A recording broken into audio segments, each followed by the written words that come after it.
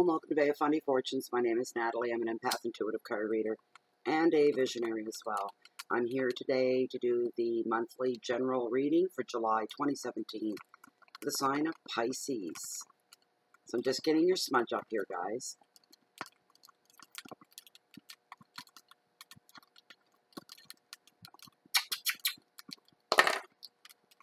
TT, come on. I put a block up and she got around it. It's my little dog. Come on, TT. Good girl. Good girl. All right. Whoops. Have it throw be a flamethrower here. Okay.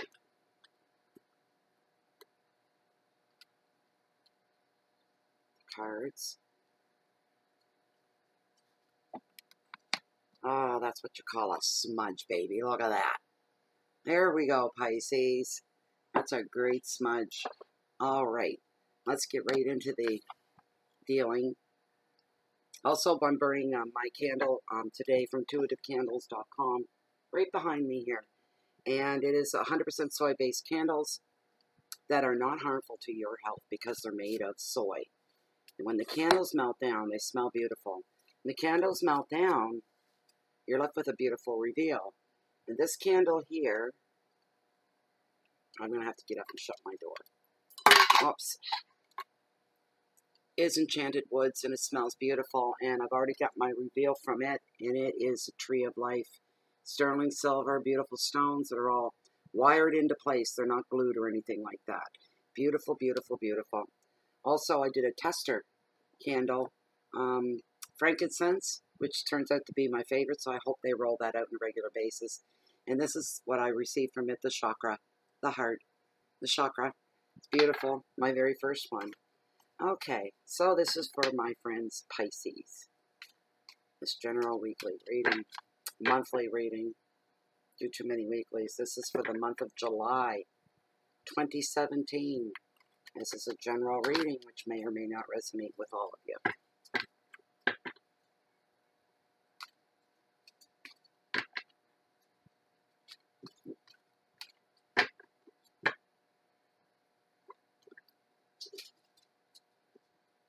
Pisces.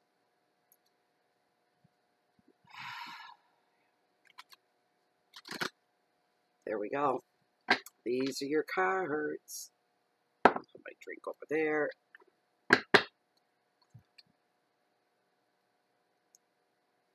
Your very, very first card. It's your overall energy for the month of July. Pisces. Queen of the Ocean. And she represents abundance. Card number two. Ooh, the vortex and temptation. Your finances and wealth. What's up with that? Card number three. Your hearth, your home, your love, anything to do with your home and your heart. King of Cups, understanding. Your challenges. Two of Cups, partnership. And your message from Spirit. Ooh, Ten of Swords all about endings. Okay, so when I've exhausted the messages from those five cards, I'll pull one significator from tarot at the end of the reading. Your very first card, your overall energy queen of the ocean. She's all about abundance. This is the mother card of tarot. Um, she brings happiness and she brings abundance and she predicts contentment, um, a loving partner as well. Um, she brings joy to the family and uh, basically an overall feeling of comfort. Your needs will be met at this time, and money is going to flow again. If there's been any slowdown, it's going to pick up and flow again. Old feuds are going to be forgotten about as well at this time. You'll be putting a lot of things to rest that aren't worth your time or energy at all anymore. Harmony is going to rule at home. It will rule at home. This is also a spiritual growth period as well. Your, and your emotional stability will become more stable, more secure. Also, um, this card favors fertility within the family for some children um, as well are highlighted here. As a person, she's a female partner, the perfect female partner, and she's also a mother figure. The advice of this card is now is the time to grow and evolve and enjoy and invest time into your relationships and your home. and your spiritual practices as well. Don't forget to get in touch. Keywords are growth and nurturing, home, love, fertility, comfort, and generosity. Now, what this is doing in your financial sector is beyond me, the vortex. A common meaning of this card overall is affairs, affairs of the heart, affairs of the marriages, this kind of a thing. Um, some of you may be feeling trapped within a relationship, um, trapped by financial co- uh, contracts as well and agreements. Some of you trapped by your job. You just feel like there's no way out. Um, you're feeling like you have little power at this time when it comes to your money flow. If you could change things, you would change things. You're feeling like somebody or something has full control over you in your life. And I'm hearing they may not even realize it, but they do. You're the only one privy to that fact.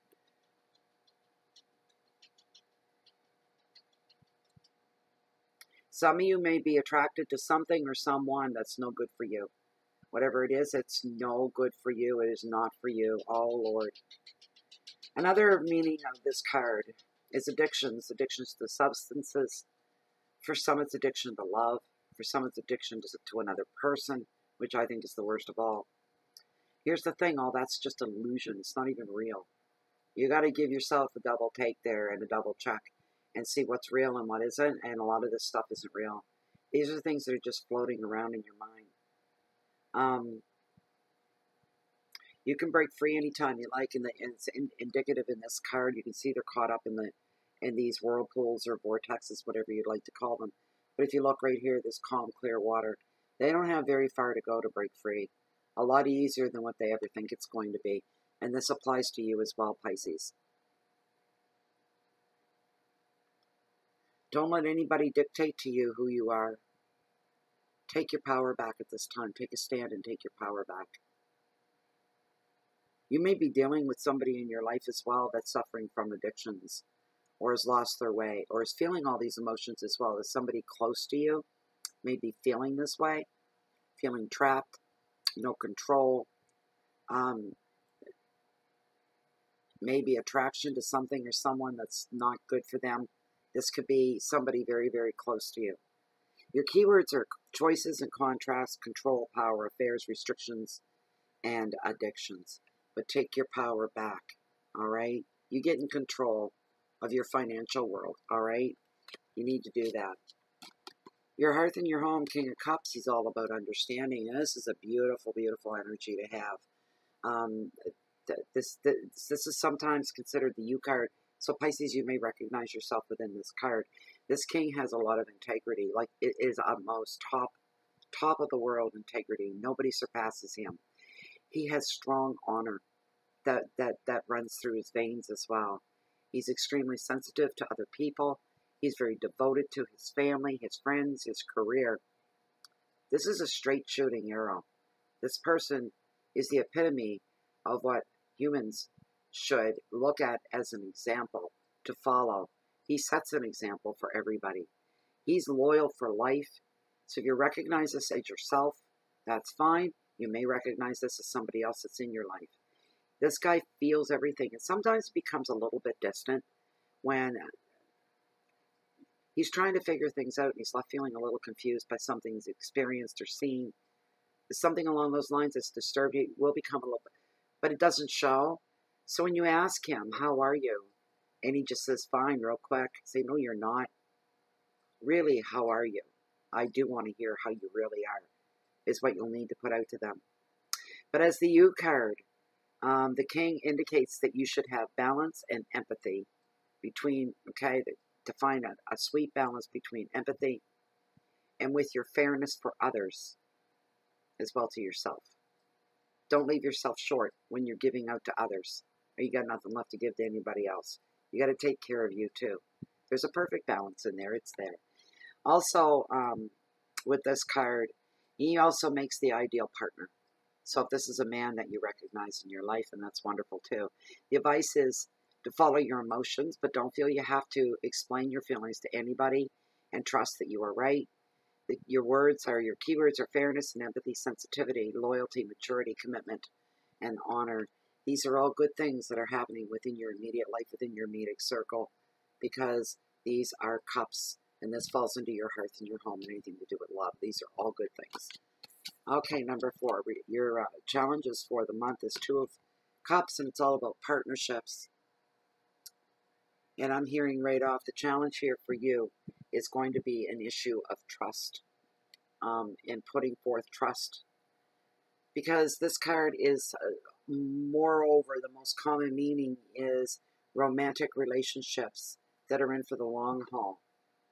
Love to last a lifetime, marriages to last, last a lifetime. Um, just communion of two people. Um, and in the romantic sense, yes. On the other side of that, it's not all about that. This can apply to people that have met somebody else or they've connected or wanted to work with somebody else for the greater good and you've met somebody that's very like-minded and how and you keep you keep saying how lucky was I to get this person? How lucky was I? They're in for the long term. They're as devoted as you are. They're as creative as you are. They're as inspired as you are. You look at each other and you already know what the other's thinking.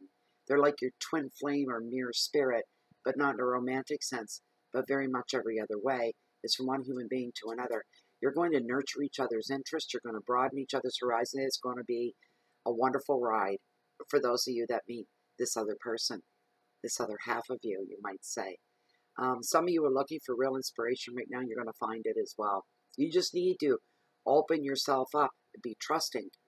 Trust this, this situation. You know, sometimes we say, this is just too good to be true. This can't be real. But you know what? Every now and again, it is. It is real. And it is true. And you need to trust it. All right? There's your challenge for the month of July. Look for others to share your visions with as the advice of the card. And work with others for the greatest results. And your keywords are partnership, creativity, communication, travel, planning, education, and a really juicy word, inspiration because it's so healthy to be inspired in so many different ways and so many different levels. So, your last card, your message from Spirit, is the Ten of Swords. It's all about endings. And this is the final card, the summing up, or the ending, the totaling. Um, it's showing some things are going to come to a close. They've run their course, and that goes for relationships as well.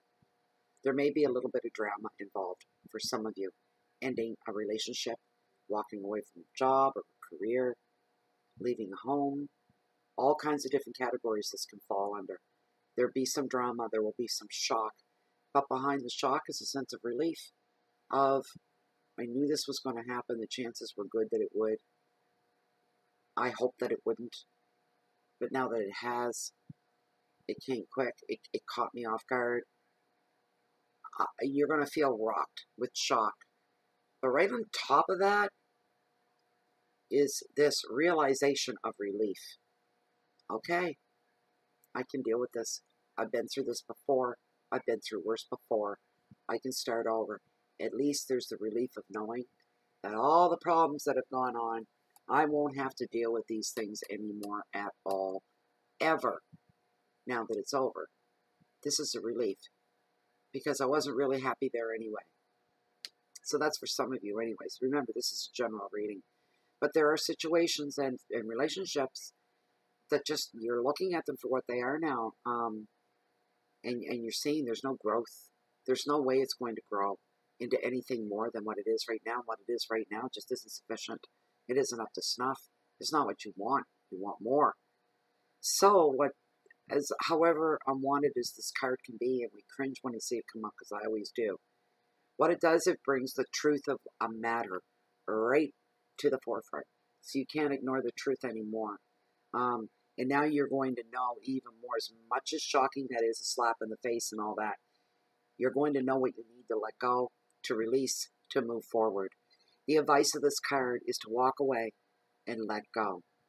Focus on your present and start letting go of the past. Don't live in the flippin' past like some people do. If you were miserable there, why are you still going back there in your head and in your emotions and in your psyche and in your energy? Throwing it all into the past. If it was so miserable, why are you still there? Get out of there. Do flipping cartwheels to be so excited that you're not back there anymore. You're here now and you're going there. All right? Be happy. Cartwheels. That you missed a bullet. That you're still alive to talk about it.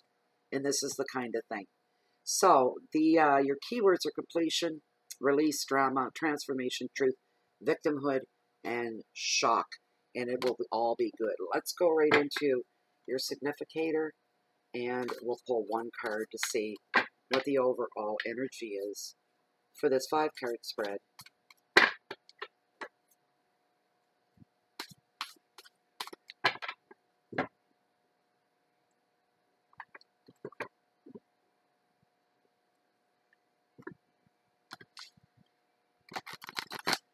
All right. Oh, I missed. One moment. I missed it. Okay.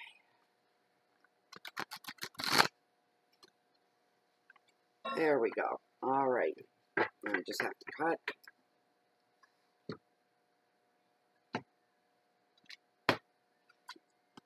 Interesting. Page of Cups. He come up reversed. Let me check on him. All right.